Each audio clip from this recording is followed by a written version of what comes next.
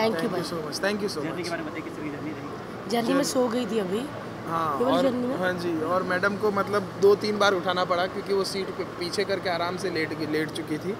लेकिन जर्नी में बहुत मज़ा आया। हम लोग बहुत भूखे थे हमने फ़्लाइट में खाना मंगवाया। बैठते ही खा लिया बैठते ही खाना। टेक ऑफ़ से पहले सबसे पहले हमको खाना मिला लेकिन मज़ा आया।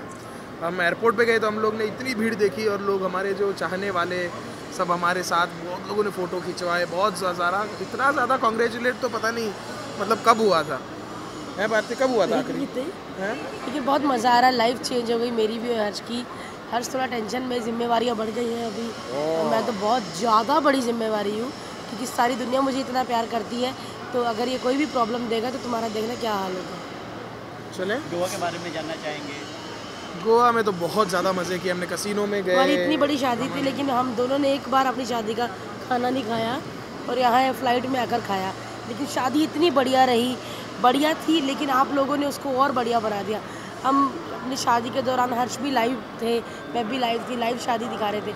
मैं रो रही थी तो इतने फैंस रो रहे थे और हर्ष को इतना बोल रहे थे कि आप ध्यान रखना उसका। मतलब ऐसे लग रहा था कि पूरा देश मेरे माँ बाप। बन गए और विदा कर रहे हैं। तो जो भारती का सपना था कि पूरा देश उनकी शादी में वो पूरा हो गया। बिल्कुल पूरा देश मेरी शादी में शामिल हुआ है और मेरा सपना पूरा हो गया। सच में बहुत अच्छा लग रहा है मुझे। अब क्या शादी के बाद क्या क्या प्लान है आगे?